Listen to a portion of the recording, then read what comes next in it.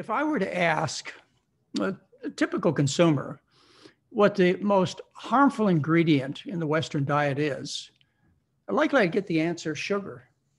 Well, I want to tell you uh, right off that what they're talking about is simple sugars like in white table sugar, honey, molasses, maple syrup, these simple sugars. They can cause some problems. They're not health food. You know, eat them in sufficient quantities. What happens is they end up uh, in your mouth and they cause certain bacteria to grow that rot your teeth. These sugars provide calories and so don't encourage weight loss, even though sugar is not turned into fat readily. These sugars are empty calories, so you get no other nutrients, no vitamins, minerals, fiber, protein, nothing else but just pure white sugar. So they're empty calories.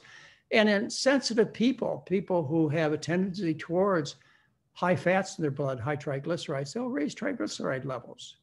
So, with that in mind, uh, should you blame sugar for all the atrocities that we suffer for that you see in people who live on the Western diet? Absolutely not. You know, sugar is uh, minor on the list concerning uh, harmful aspects of the Western diet. I'd have to say if I was going to list them in order of damage, I'd probably list, and it's artificial what I'm going to tell you now, because they're all kind of mixed up. You know, you can't really separate one from another, but let's just try. I would say fat is probably the most toxic when it comes to causing diabetes, obesity, promoting cancer, damaging the arteries, causing bleeding problems. Yeah, if you're going to pick on the components of a food plan, let's go fat first. Then I would go protein. You know, there's never been a case of protein deficiency ever reported. Let's just start there. How about problems of protein excess?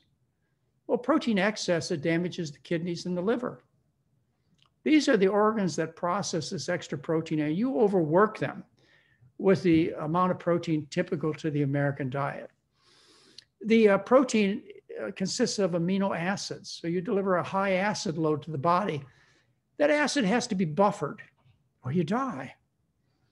The primary buffering system of the body is the bones. So the bones dissolve, and you create a condition of weak bones, commonly known as osteoporosis. And that bone material ends up in your kidneys, solidifies, and gives you kidney stones. So, protein, I have to say, is number two.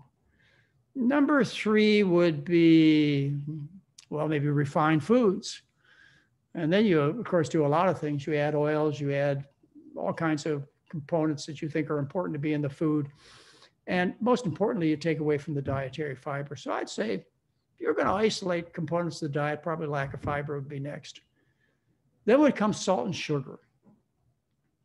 The, the, uh, the harm to the body from salt and sugar for most of the population is minor, insignificant. You know, those with extremes in both nutrients are going to get into problems, but you really have to push your limits to do that. Uh, the other important thing I want to tell you about salt and sugar, and you ask about sugar, refined sugar, is it will often make the difference as to whether you eat your food or not you want it to taste good. And the primary pleasurable tastes are on the tip of the tongue there salt and sugar.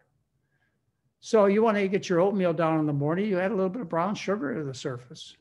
Likewise, that rice dish that you really enjoy, likely most of you, especially when you start to change your diet, are going to enjoy a little bit of salt on the surface of the food. Yeah, tending towards a lower sodium and lower sugar diet, that's important. But learn to like the food is even more important. Now, let me just end this conversation by telling you about Walter Kempner at Duke University. Walter Kempner was at Duke for seven decades.